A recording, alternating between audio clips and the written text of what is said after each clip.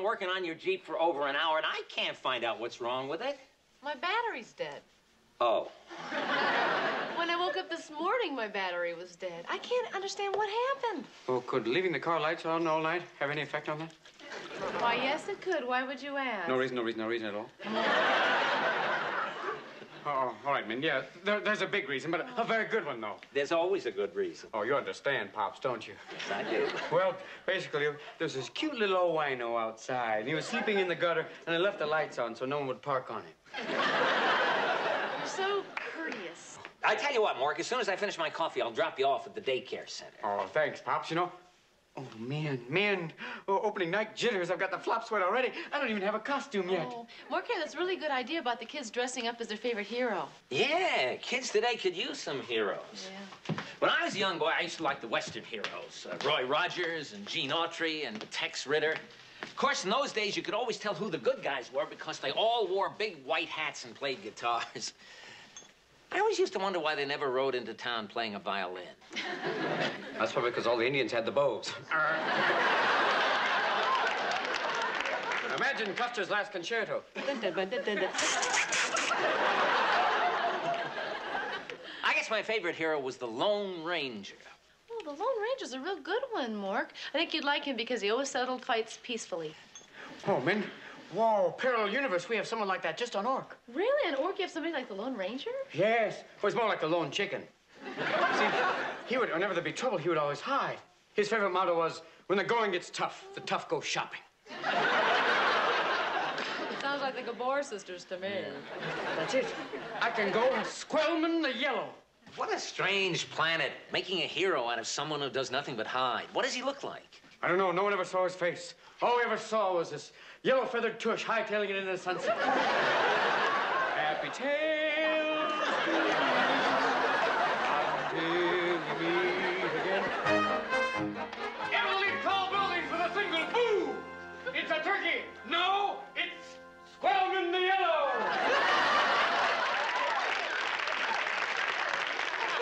The proud coward with the golden tail. Now, you see, that's a hero where I came from. By creative hiding, that's how he survived. Now, numbers up next. Who's up? You're up, Jonathan. I'll give you a hint. Sugar Ray Leonard. One more hint and I might get it. Speaking of sugar, when do we eat? Now, Stephanie, you just had lunch, and very few people can eat a whole turkey and live.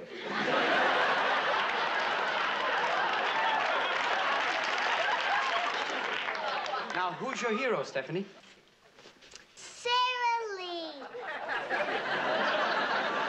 Might have guessed. Oh, stick a brownie in your ear. Stephanie, if you keep this up, one day you're going to go in an elevator and it's going to say capacity, you. Who's your hero, Lola? Truman Capote. For his accurate yet lyrical portrayal of the human condition. Lola, one day you're going to have a talk show all of your own. Billy, who's your hero? My dad picked my hero for me. Who is it? Him. He wants me to be a doctor like he is. Oh, that's not a bad hero. I mean, they save lives, they play great golf, and they never bother you at home. Big deal. My dad won't let me be what I really want to be. Who's that? The guy with my name. Billy the Kid. He was a tough hombre. His dad never told him what to do. Oh, Billy the Kid. Isn't that the president's brother, the one that helped Reagan get elected?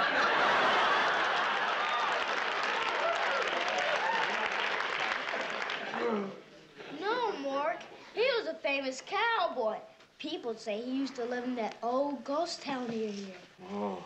Oh, that's it, a ghost town, the ultimate retirement village. Imagine the maid changing the sheets up there. Jonathan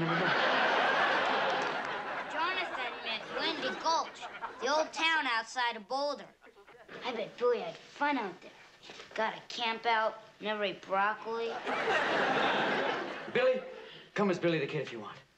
Really? Yeah. Thanks, Mork. Oh, shucks and wazoo, little Yoda. well, that's it for today, kids. Time for a field trip. Today we're going to go down to the chemical plant by the river and watch the dead fish race.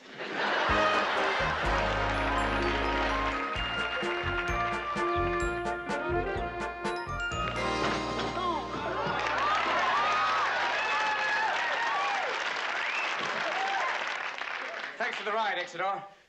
Lucky for you, the shrine is canceled.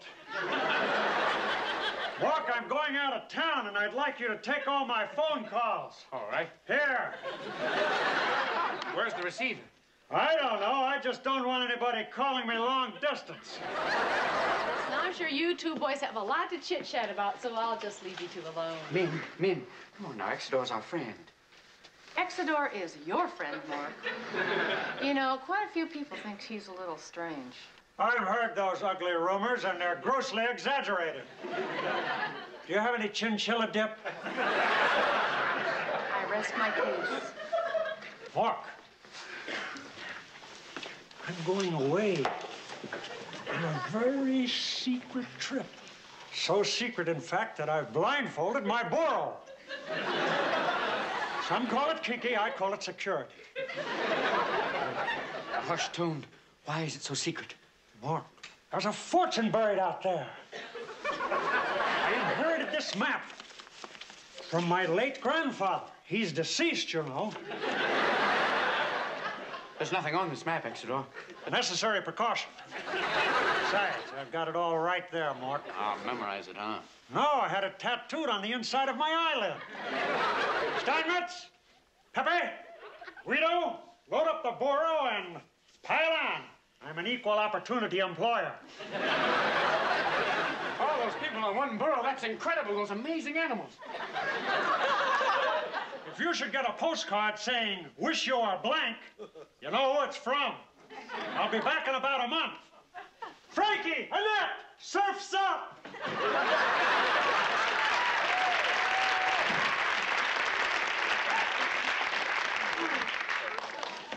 Min, you can come out now. Exidor's gone. Exidor was gone when he got here. well, I hope your day's been going better than mine. Oh, me too, Min. My idea about the heroes with the kids was a great success, except for Billy. Oh, why? His father wanted to be a doctor. Why? That's a good hero. Well, well, he didn't like it, so I found him a new one, Billy the Kid. Well, that's not so good, Mork. Billy the Kid was a murderer. He killed 21 people. Oh, Min, you don't know that for sure. I mean, you know how people gossip at funerals. I mean, I mean, he must have done something to become famous.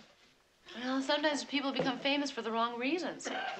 Kids always imitate their idols, so it's better for everybody if you pick somebody good. Oh, that's right. Oh, was I wrong, Min? Phew. Why do morks rush in where wise men fear to tread? Boy, that goose must weigh a ton. Oh, good, it's the tow truck. I better get out there before my auto club card expires. Oh, hi, Billy. Hey there, little buckaroo. Howdy. You, hey, just knock your feet together twice, we'll do a little chapstick.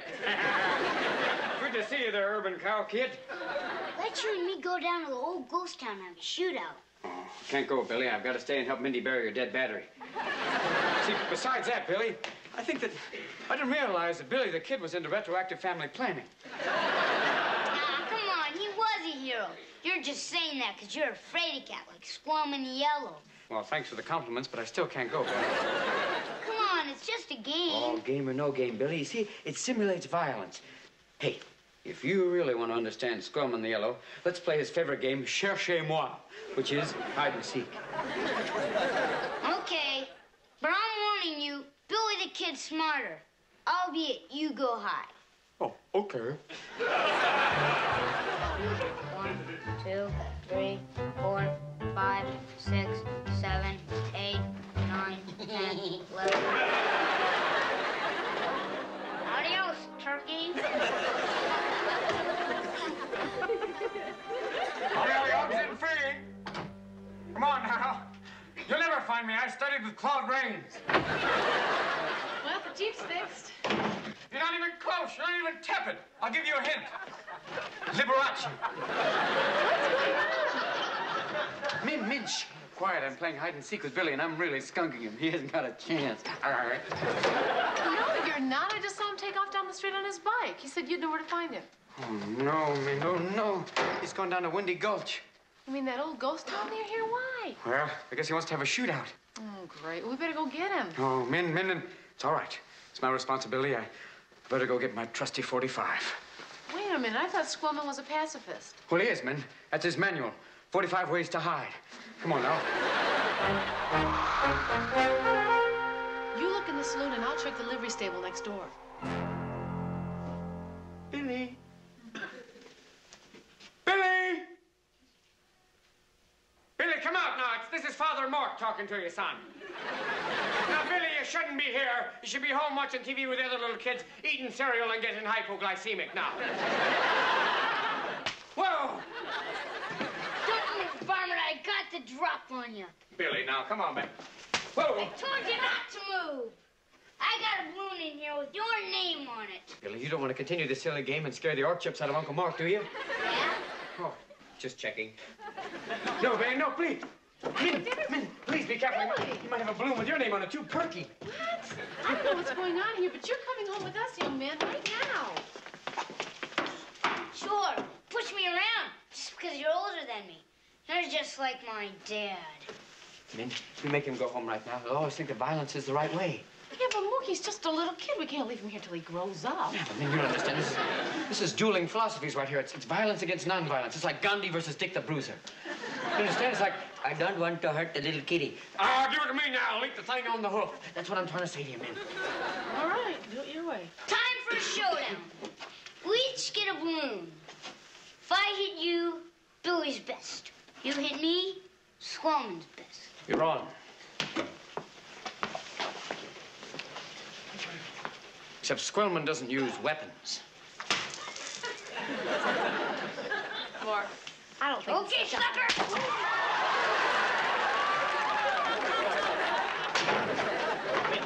Min, Min. Min, I hope now that you appreciate the subtlety of my philosophy. Well, look at the good side, Min. You could always win a wet sweater contest.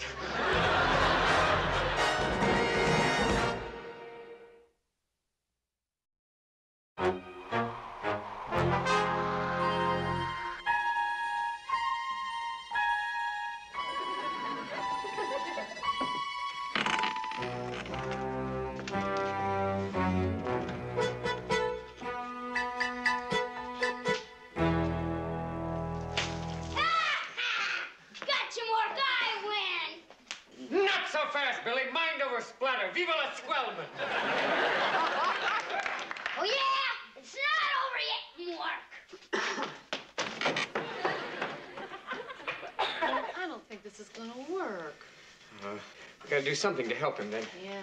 Somehow we've got to prove to him that, that being an outlaw is only exciting in the movies. That Butch and Sundance weren't heroes, they're only handsome. Wait a minute, Min. Bingo! That's an old religious saying on Ork. I think I've a way of ending this confrontation, Min. I think there's a solution to the possible violence that's escalating before our eyes. First of all, we have to find young Billy, the young person who's just in prison right now, who attempted to assassinate me with agua pura. and if we find him, we must convince him why Billy the Kid never became Billy the adult. When we do that, we'll have a solution to this violent problem that we have today before. Rosemary, did you get all that? Good. Erase it.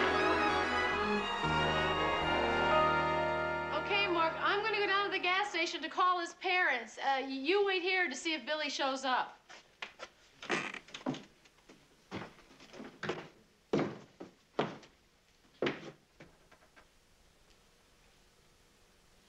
Come on out, you lily-livered coward.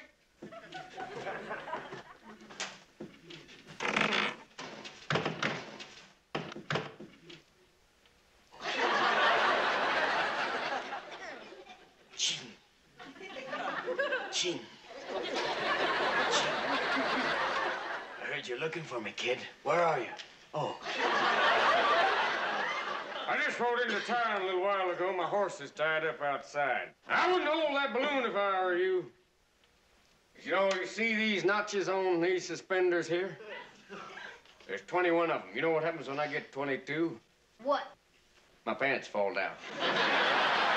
That's why I have to wear this serape here.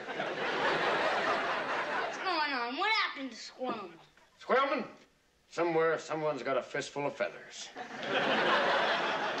Why don't you come on down, son? Buy a little drink. Right now, I'm so thirsty I could belch dust. Barkeep, sarsaparilla for my friend, I'll sip danger. Come on, Mork. Whoa! Neat! How'd you do that? There's some questions you can't answer, Billy, like how does Venus de Milo hitchhike? Mind if I tinkle, Bill?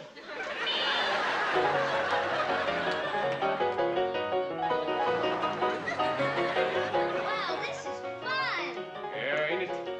It wasn't always that much fun, Billy. Especially when there were guns involved. You know, sometimes there might be a real intense game going on here with people sitting in those chairs. Let your imagination wander. yeah. See what happens.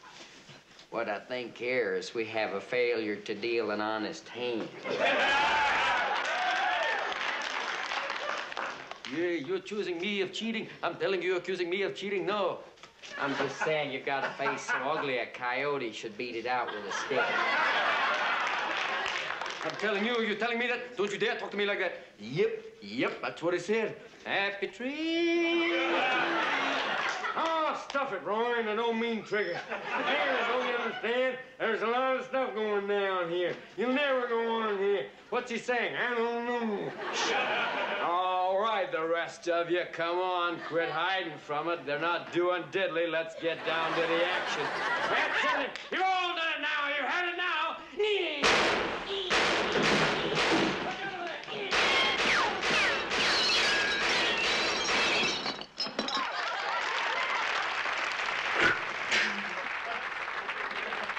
Hey, does that seem like fun to you?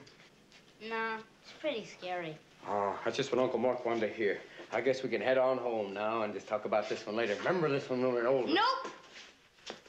Oh, no. Mayday, MREC. All systems alert. Damien, part four.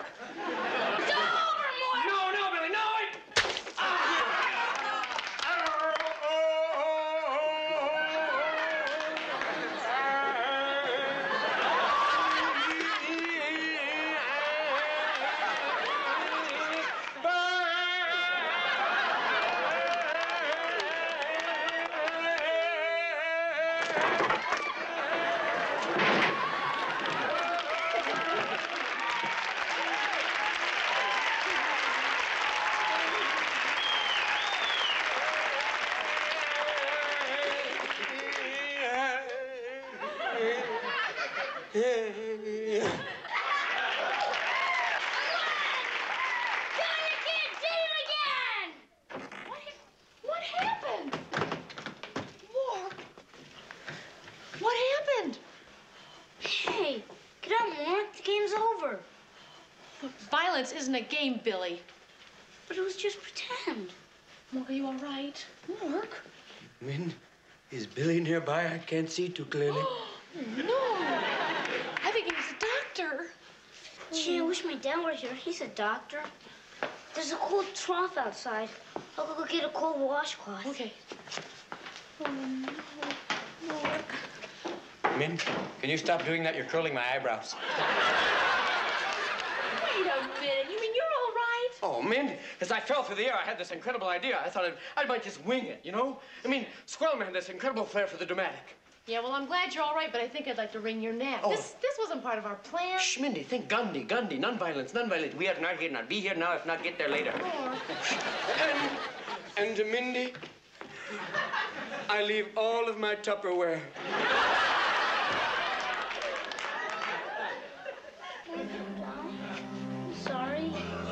I went too far. Oh, it's, it's all right, Billy. It was just a game. Kind of heavy stakes, but just a game. I'm sorry. Get better. I saw my dad do this. I hope it works.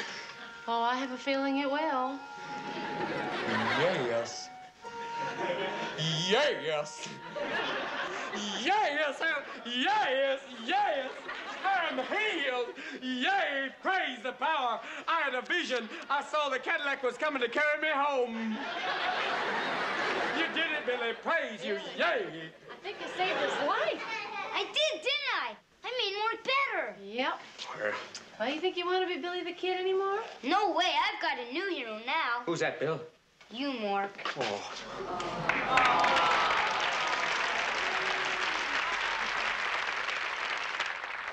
I better get home now. My mom and dad will be worried. Is it all right if I throw my bike in your Jeep? Sure. That's better than the other way around. well, Well, another day, another nervous breakdown. Hey, somebody left the Jeep lights on. Min, Min. I, I know what you're thinking, but it, it was advanced planning, really it was. I, I mean, I know we need those lights at night when we have to look for the car keys that I lost. I know, I know. Shh. Patience, Min, patience. It's not only a virtue in this case, it's a necessity. I'll wait for you outside. All right, all right.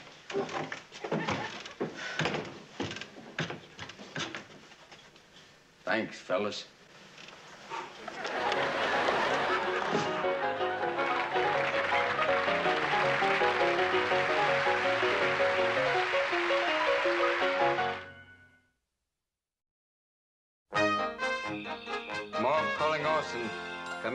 Orson. Mork calling Orson. Come in, Orson. Mork calling Orson. Come on in there, partner. Yo, Bronco Billy. Are? Mork, get a grip on yourself. Yes, sir.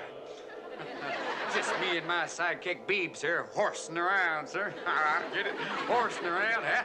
Ooh, one more, Mr. Beeb. But I didn't get it this time. What's your report about this week, Mork? Well, hero, sir, and I'm not talking sandwiches. Are there many heroes on Earth? Oh, yes, sir, there are. But it seems like only the ones with pizzazz seem to get the spotlight. How many times, sir, have you seen Albert Schweitzer's picture on a bubblegum card? Think about that one, sir. Well, maybe it's because he can't throw a good curveball, but isn't that being a little picky? It sounds like Earthlings equate heroism with glamorous deeds. I think so, sir. It's probably good for their T-shirt industry. You always hear about the man who jumps over 13 buses, but you never hear about the John Doe that put him back together again. Who's John Doe? Exactly, sir. That's why I think most real heroes seldom get a headline of their own. Imagine this, sir. Today, millions of Earthlings help one another. No film at 11.